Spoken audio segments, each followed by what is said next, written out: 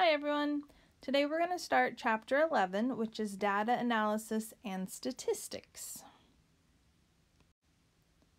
So today we will be looking at 11.1, which is using normal distributions. And if ever in your life you've heard something about a bell curve, that's what we're going to talk about today. So first we need to do a quick recap of standard deviation. Now they changed notations on us a little bit and I don't exactly know why, but uh, they are now using mu in replace of x bar, but they mean the exact same thing. This is your lowercase sigma, okay, and that is our symbol for standard deviation. So to find standard deviation, you're first going to find the mean of the data set. Then you're going to do all your numbers minus the mean. You're going to square them all, add them all together, divide by how many numbers you had, and square root it, and that gives you your standard deviation. Remember, your standard deviation tells you typically, like on average, how far your data points are from the average, like the average from the average. And this formula can be found on page 314 of your journal if you want to go there and put a big star by it.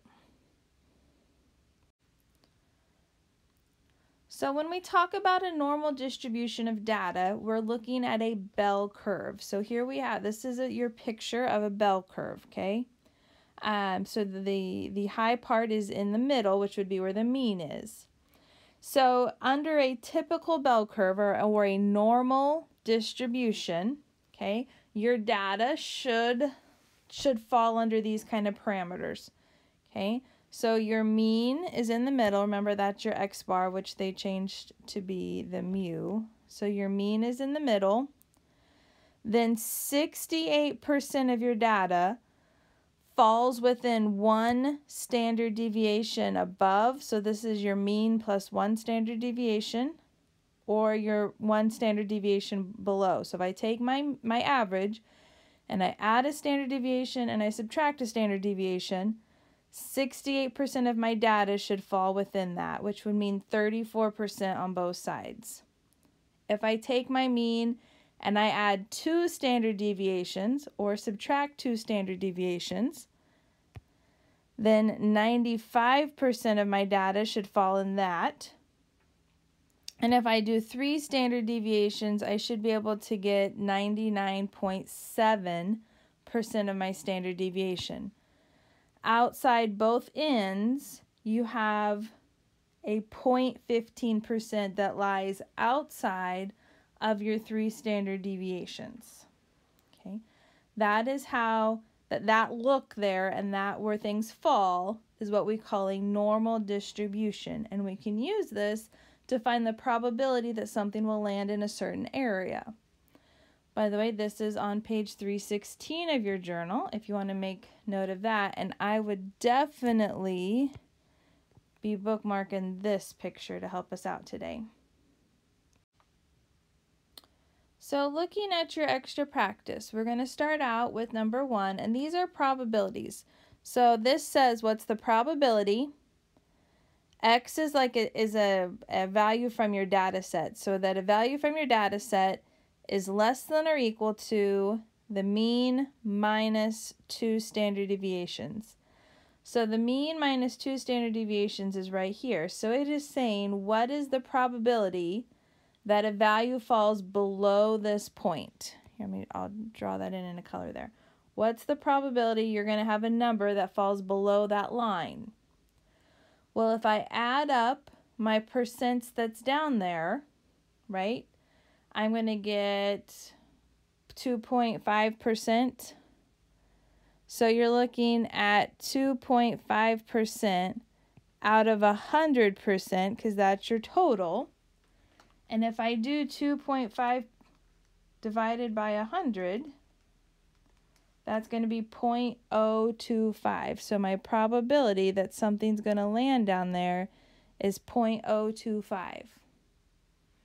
So again, you're just really adding the, the, the percents that it can be in these spots. So let's look at number three. Three says the probability that some data set is less than or equal to the mean plus two standard deviations. Well, the mean plus two standard deviations is here, and it wants the probability that something's going to be less than that. So you can actually go through and add 13.5 plus 34 plus 34 plus 13.5 plus 2.35 plus 0.15. Or total, this makes 100%, and you could just do 100% minus these, and that would be what's left. So 100% minus 2.5 should be 97.5.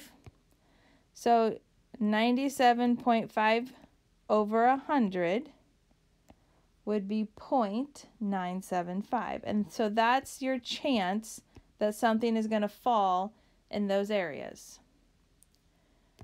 All right, and the last one we're going to do here, see if I can erase this so we can see. There we go.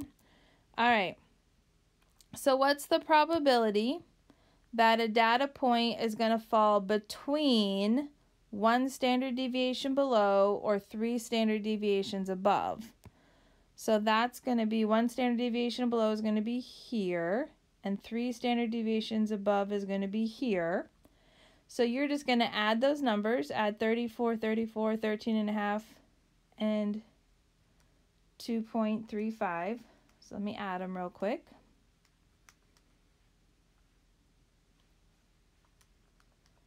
So I get 83.85 out of 100 total, which is going to be 0.8385. Okay, so probability, remember, is favorable over total, and so you're just looking at the favorable percent over the total percent, which is going to be 100. All right, let's look at number 7. 7 says the scores for a math course test are normally distributed, so that tells you right there it's in the bell curve, with a mean of 61. So I'm instead of drawing it as a bell curve, I'm going to do I'm going to do a line. So here's my 61 in the middle, and that'd be the top of my bell curve. Then if I find my three standard deviations above and below, I'm going to add 11, which gives me 72, add 11, which gives me 83, add 11, which gives me 94, subtract 11, which gives me 50, subtract 11, which gives me 39, subtract 11, which gives me 28. So that that's like the top of my bell curve. It's coming down from there. Okay about what percent of the students taking the test have scores between 72 and 83. So because I drew this out, then I can look there, be like, oh, well that is, that's like the, the two standard deviations away. And if you refer back to your, your graphic that we were looking at, what percent falls in that, that area right there, and it should be 13.5%. So we got that just by looking at the picture we've been using. Okay. So the next question is about what percent of the students taking the test have scores less than 50. So right here, less than 50. So if I go and I add up, here was 13.5%, here was 2.35%, uh, and here was 0.15%. If I add those up, we should be at 16%. Okay, you really need to keep that one graphic available because you're going to use it very fairly regularly. So the last thing we're going to look at is can I tell by a, from a histogram if I have a normal distribution? And you're really just looking at your your bell curve. So if we really got down to the nitty gritty, your median and your mean should both be in the middle. Okay. Um, so looking at number nine, number nine I'm going to say is not a, a normal distribution because it kind of goes up this way. It, it, you would say it's skewed to the right. Okay, so probably your your middle number, your median, is a little more someplace to the right than in the middle. Okay. Now looking at number 10, and we're just we're just looking at these to, to figure it out. This one, it's not a perfect bell curve, but it's not bad. So we're going to say that yes, this one does. Your mean and your median should both be somewhere around that middle point, which is what you're looking for. All right, let me know if you have any questions on this. I will be live later this week. Hope you have a good day.